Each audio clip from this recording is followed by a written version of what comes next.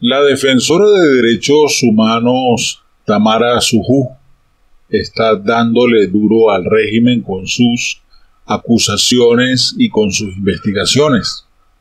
Ahora ha descubierto lo que se sabe una un centro de tortura en Caracas. ¿Quieres tener más información al respecto? Quédate hasta el final y te traeré toda la información sobre este centro de castigo a los opositores, castigo a la disidencia, a los que piensan diferente al chavismo. Me gustaría pedirte que te suscribas al canal si no lo has hecho, le des clic a la campanita y seleccione la opción todas.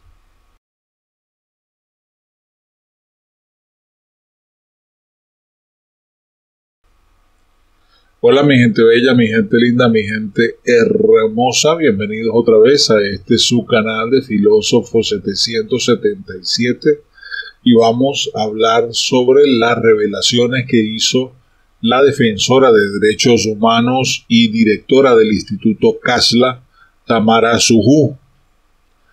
Identificó en un reciente informe que fue presentado ante la Organización de las Naciones Unidas uno de los centros de tortura que mantiene la Dirección General de Contrainteligencia Militar de GESIM cerca de la capital venezolana.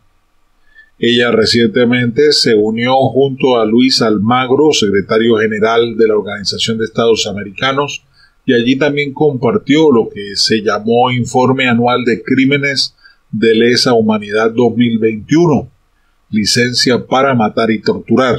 Ese era el nombre del informe. Según explicó Tamara Suju, gracias a la colaboración de varios informantes, lograron detectar nuevos lugares para encarcelar y torturar que utiliza el régimen criminal chavista madurista. Estos hallazgos siguen demostrando que existe planificación sistemática de represión y de tortura, añadió ella. Respecto a uno de esos nuevos centros de tortura del DGCIM, se encuentra ubicado en el sector La Mariposa. Dijo que tiene una historia macabra. Civiles y militares han sido detenidos y han sido llevados a este lugar para someterlos a las peores torturas que se puedan imaginar. Fue en ese centro, en La Mariposa, donde torturaron al capitán Rafael Acosta Arevalo, quien murió a los pies de un juez, recalcó Tamara Sujú. Este lugar está ubicado en los límites del fuerte militar conocido como Fuerte Tiuna en Caracas. Está en una zona montañosa y boscosa. Allí, según información de varias fuentes al Instituto Casla, antes funcionaba aparentemente el Club de Cartografía Nacional. Además de ser un centro de torturas del DGCIM, grupos élites de ese organismo de inteligencia utilizan este recinto para entrenar y para probar nuevos eh, equipos, nuevas herramientas de fuego.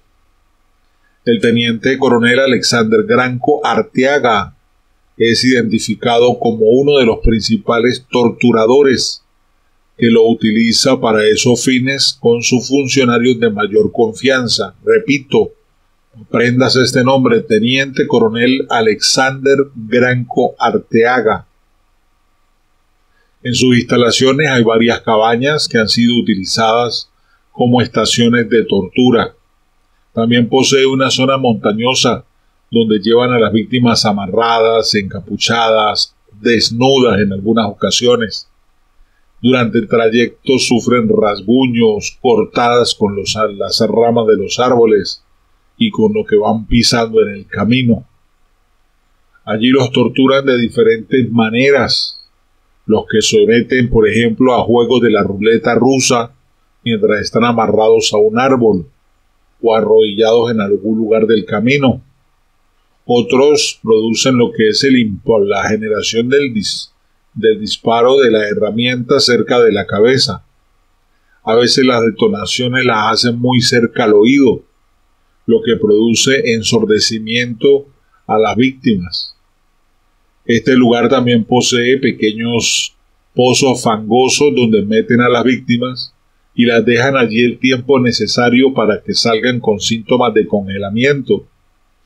En las distintas cabañas hay objetos de tortura, hay poleas con cadenas, látigos, cabillas, tablas de madera, bate de béisbol, cables de electricidad, batería de auto, cautines, tobos de agua, bolsas plásticas. También hay sustancias tóxicas que les agregan a las bolsas para asfixiarlos o que mezclan con agua para echárselas en la piel. Manguera de agua para bañarlos con agua bien fría. A manera de tortura los bañan a las primeras horas de la madrugada o los bañan durante todo un día entero antes de llevárselos a la sede del organismo de inteligencia militar. ¿Cómo les parece? Esto está viviendo en pleno siglo XXI con la anuencia de los militares, con la, anuencia y autorización de todos aquellos que supuestamente claman por el derecho.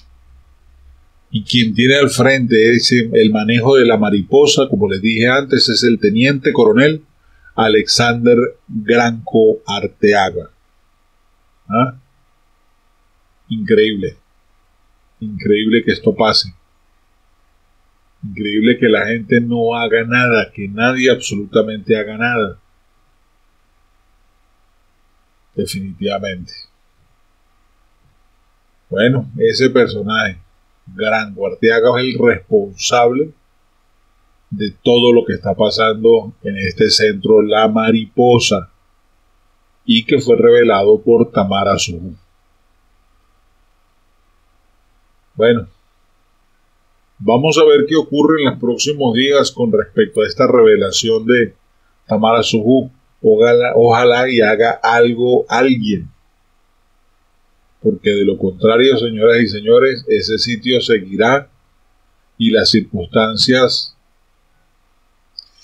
y las reacciones y el sufrir de los venezolanos seguirá creciendo. Me voy con la frase del día. Lo que conduce y mueve al mundo no son las máquinas, sino las ideas. Repito, lo que conduce y mueve al mundo no son las máquinas, sino las ideas. Recuerda la clave de la riqueza, la clave del éxito. Antes de emprender un negocio, antes de fijarse una meta, es necesario tener o contar con una idea. Si usted tiene la idea, lleva la mitad del camino recorrido, porque la idea te muestra hacia dónde vas a llegar, cómo vas a llegar, por qué quieres llegar, hasta dónde vas a llegar. Es el que te abre eh, la visión de vuelo y ahí en adelante lo que te queda a ti es empezar a ordenar los pasos. Empezar a ajustar los elementos que necesitas ajustar. Porque lo que se viene es bendición y bendición en abundancia pura. Pero para eso necesitas saber que para adelante es para allá. Dale, busca la idea y vas a ver lo que va a pasar. Bendiciones para todos. Recuerda dejarme el comentario. No olvides, si me quieres apoyar, dedito arriba y compartir este video en tus redes sociales. ¡Ánimo!